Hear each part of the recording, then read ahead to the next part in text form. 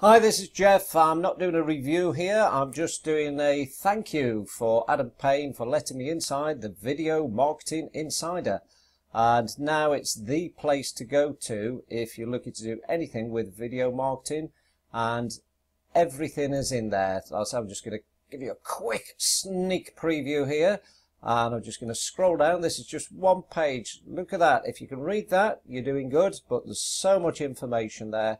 So just say another big thank you to Adam for letting me in.